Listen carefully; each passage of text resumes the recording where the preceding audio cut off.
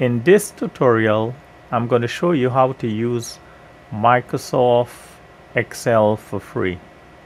Now this is Microsoft Office online version.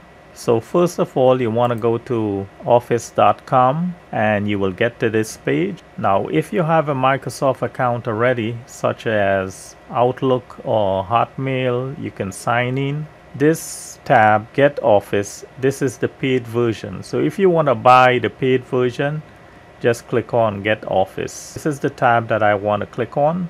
So I'm going to click on sign up for the free version of office.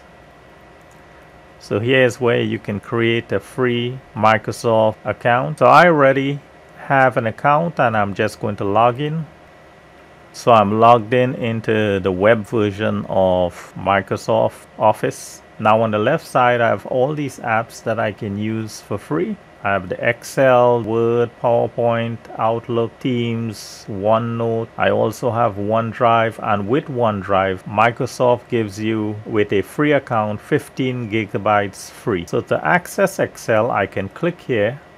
I can also click the app launcher and Excel is here.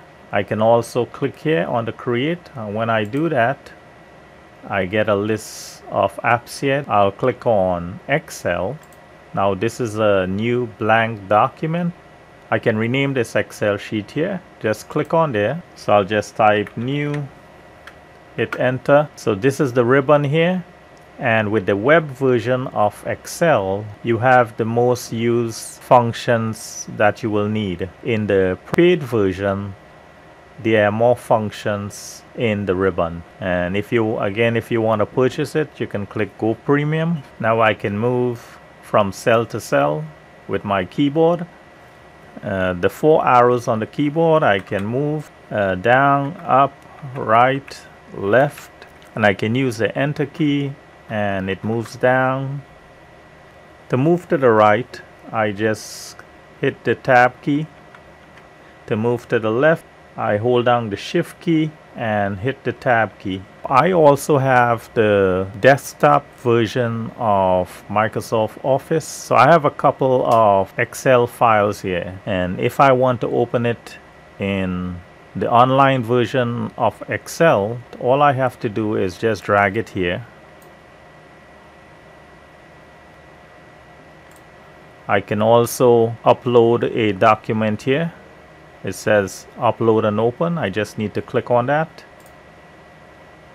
and I can upload my Excel document. So I have a simple Excel document here. For example, fruit, the quantity, the cost. Now, if I want to add another name here on the cell, for example, organic,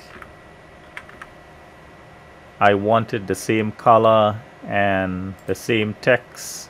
All I have to do, I highlight this cell, click on the format painter and click on the organic cell here. It changes to the same format as the rest. So if I want to add these numbers here I can just drag it with the mouse here and on the right side I can click on the auto sum and when I click on that you can see this function works. So if I want to add all these numbers here on the course I can do that by using the equal sum left open parenthesis. So I'll type C2 C5 close parenthesis hit enter and the function works. And I can also use this function equal sum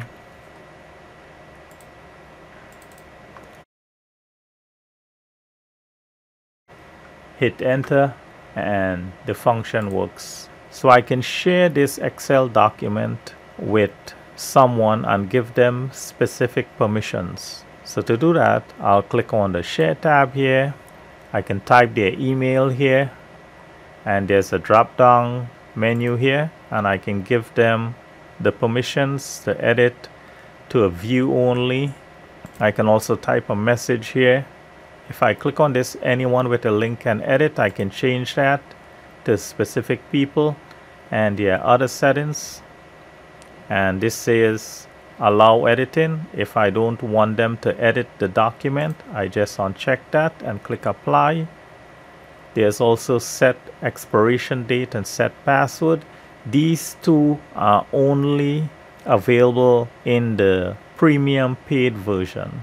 There's also the copy link. So when I click on this, a link is created to this Excel document and I just have to copy it. And I can also change the permission here and email this link so I can download a copy of this Excel document to my desktop and open it in my desktop version of Excel. So to do that, click on File and on the Save As, I can rename it here and I can download the copy here. Also, I can download it as an ODS open document. So I'm going to click on Download a copy and it's downloaded. Now, whatever changes I make here, is automatically saved in OneDrive. So I don't have to click File Save all the time. So I can download the Office app for this online version of Microsoft Office. Now I am using Microsoft Edge. So on the right side,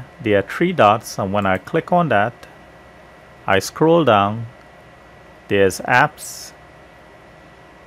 So it says install office and this is the office app. I'm going to install it.